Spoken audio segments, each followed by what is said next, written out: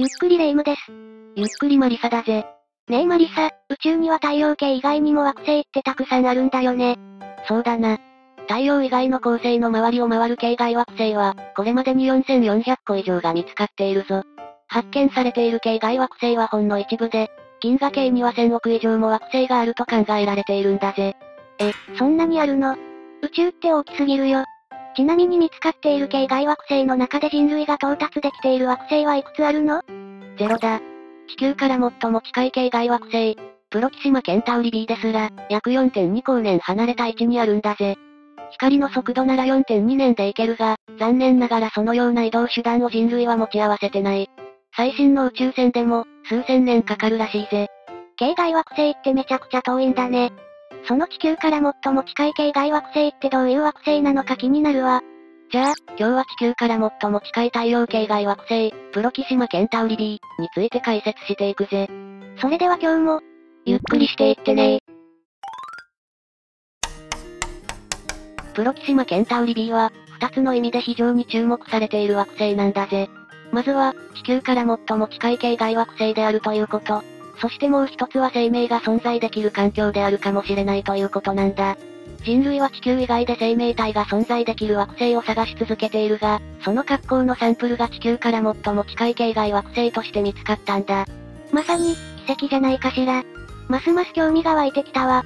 それにしても、プロキシマケンタウリ B って長い名前だね。プロキシマケンタウリ B の主星、恒星プロキシマケンタウリは、ケンタウルス座にある、全天で太陽系に最も近い恒星なんだ。プロキシマケンタウリ、という名前は、ラテン語でケンタウルス座の最も近い星、という意味を持つんだぜ。プロキシマケンタウリの周りを2つの惑星が回っていて、そのうち地球に近い方がプロキシマケンタウリ B、もう一つがプロキシマケンタウリ C だ。プロキシマケンタウリ B は地球に最も近い系外惑星として長年その可能性を示唆されてきたものの、技術的な問題により観測することができなかった惑星なんだ。恒星プロキシマケンタウリが発見されたのは1915年だが、プロキシマケンタウリ B の存在が発表されたのは、2016年とつい最近のことなんだぜ。地球に最も近い系外惑星なのに、どうして長年観測することができなかったのかしら。プロキシマケンタウリ B は暗く、地球から直接的に観測することができないんだ。そこで用いられたのが恒星の揺れを観測するという新しい手法なんだ。恒星は周りを公転する惑星の重力によってわずかに揺れ動いているんだ。この恒星の規則的な揺れを観測することで間接的に惑星の存在が分かったってわけだ。直接観測できない惑星をよく見つけたわね。次はプロキシマケンタウリ B について詳しく見ていくぞ。水産では、プロキシマ B の半径は、地球の半径の0.94から1.4倍の範囲にあるとされている。また質量は地球の約1.17倍だと計算されている。サイズも質量も地球によく似ているのね。その質量から惑星の組成は、地球と同じ岩石惑星であると分かっているんだぜ。惑星には3つのタイプがあって、水星、金星、地球、火星のような岩石惑星、木星、土星のようなガス型惑星、天王星、海王星のような氷惑星に分類できるんだ。これまで、発見された約4400の系外惑星のほとんどがガス惑星で、地球のような岩石惑星はたったの161個なんだ。そして岩石惑星では、液体の水が存在することができれば、海ができる可能性があるんだぜ。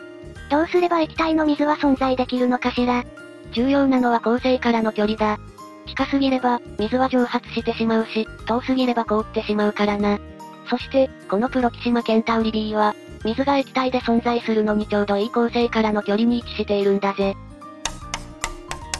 じゃあ、次はプロキシマケンタウリ B の恒星との関係性を見ていくぞ。プロキシマケンタウリ B の軌道は恒星プロキシマケンタウリから約750万 km 離れている。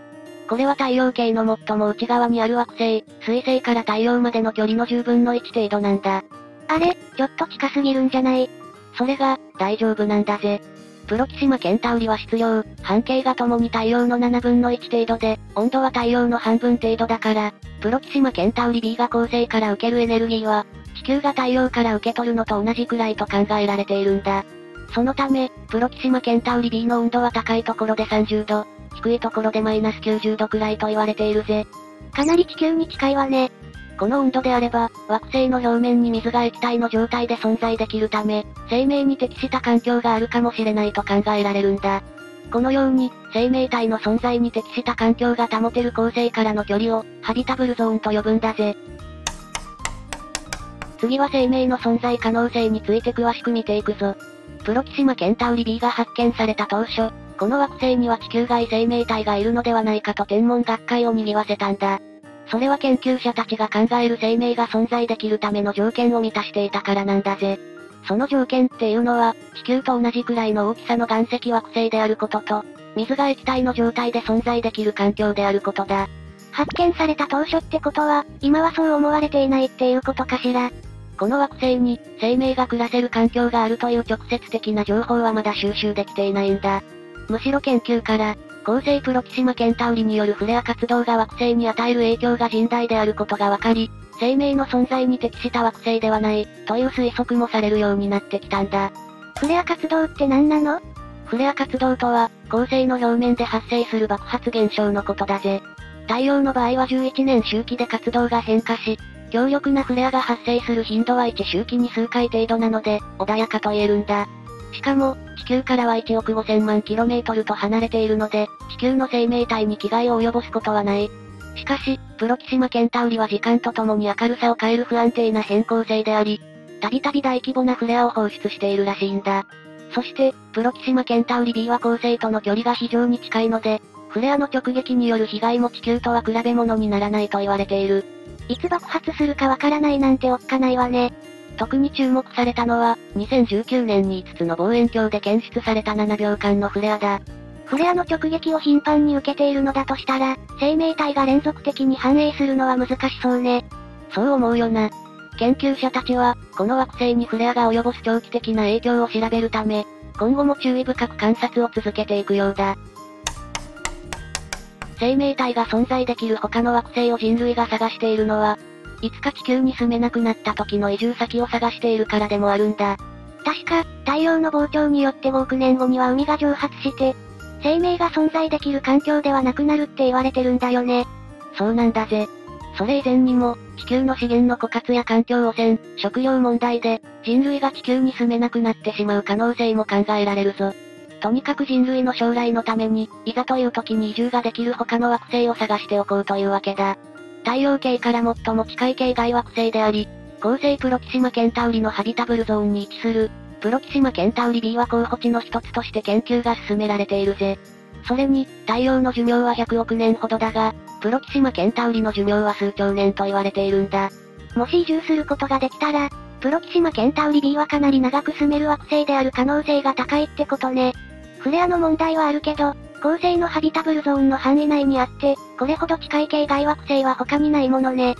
ただし、大規模なフレア以外にも問題点はいくつか存在するんだぜ。プロキシマケンタウリ B は恒星に非常に近いため、地球に対する月のように重力の影響で、自転と公転が同期していて、常に同じ面を恒星に向けている可能性があるんだ。そうなると恒星側は永遠の昼で酷暑、裏側は永遠の夜で極寒ということになり、生命が存在するためには条件が悪いと考えられる。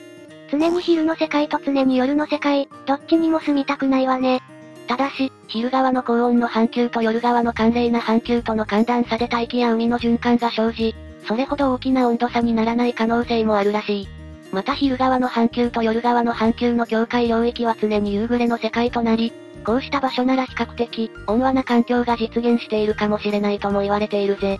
境界領域のわずかな範囲だけ、ものすごい人口密度になりそうだわ。それから放射線の問題もあるぞ。フレアが恒星プロキシマケンタウリの表面のどこで起きるかはわからないため、プロキシマケンタウリ B が必ず直撃を受けるとは限らない。しかしフレアがあってもなくても、そもそも恒星との距離が非常に近いため、プロキシマケンタウリの発する紫外線や X 線、放射線などは、容赦なくプロキシマケンタウリ B の表面に降り注いでいると考えられる。そしてこの惑星は大気が薄く、磁場がないと見られ、放射線を防ぐことができないというぜ。そのような環境で生命が誕生できるのかはわからないが、もしいるとしたら紫外線などをしのぐために地下や海底などにいるものと考えられているぜ。やっぱり人類が移住するのは難しいんじゃないかしら。そして、最大の壁はやはりその距離だ。4.3光年はキロメートル表記に換算すると約40兆6800億キロメートルで、現代の宇宙船を使って移動するには、最低でも7000年以上かかると言われているぜ。移住できる可能性がある惑星の中では最も近距離だが、それでもたやすく行ける距離では決してない。今の技術では、7000年以上かかるとされていて、人類がプロキシマケンタウリ B へと旅立ったとしたら、何世代もかけてようやく到着することになるんだ。宇宙船の中で生まれて、宇宙船の中で死ぬ世代がたくさんいることになるね。SF 映画みたいだわ。実際に人類が移住できるような惑星であるかどうかはわからないが、このような生命の存在可能性がある惑星を研究することは非常に有用なんだ。次はプロキシマケンタウリ B の今後の探査計画について見ていくぜ。2016年に、物理学者のスティーブン・ホーキングと、ロシアの富豪でベンチャー投資家のユーリ・ミルナーによって、ブレイクスルースターショット計画という無人探査プロジェクトが提唱されたんだ。有名な車椅子の天才、ホーキング博士じゃない。それで、どういった計画なのかしら？ブレイクスルースターショット計画では、カメラや通信機器が搭載された切手サイズの超小型探査機、スターチップに一辺が1メートルほどの極薄の砲を取り付け、地上からこの砲に向かってレーザーを照射することにより、高速の20%の速度を実現しようとしているんだ。そしてこの探査機は高速の20%でプロキシマケンタウリ B に到達し、猛スピードで通過しながらスナップ写真を撮影し、地球に送信するという理論なんだぜ。砲含めても一辺が1メートルってすごくコンパクトな探査機だわ。それで、この探査機ならどれくらいで到達できるの？この探査機は、プロキシマケンタウリ B まで20年で到達できるというぜ。7000年が20年になるなんて、驚きだわ。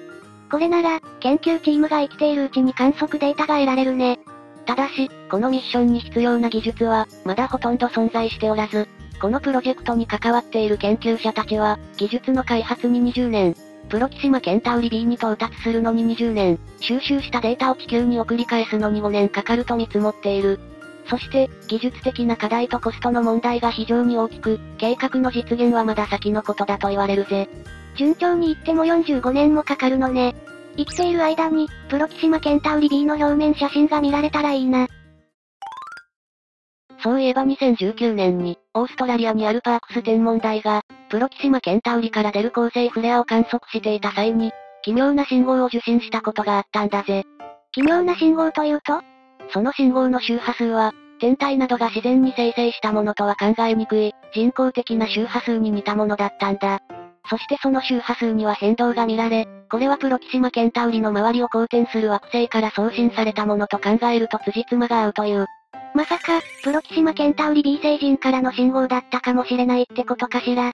結局この信号の正体は分かっていないんだが、実はこれまでも地球外知的生命体からの信号と思われる電波は何度か検出されているんだぜ。しかし、そのほとんどが、地上の送信機や電化製品、人工衛星から出た電波が混ざり込んだもの、もしくは宇宙や大気圏上層の自然現象から発せられたものだということで結論付けられているんだ。今回も勘違いかもしれないね。でももしも、他の惑星の知的生命体も地球からの電波を受信して、地球には生命体がいるかもしれないって騒いでいたらって考えると面白いよね。我々が宇宙を覗くとき、宇宙もまた我々を覗いているってことだな。今回の解説はこれにて終了だぜ。この動画が面白かったら高評価とチャンネル登録よろしくね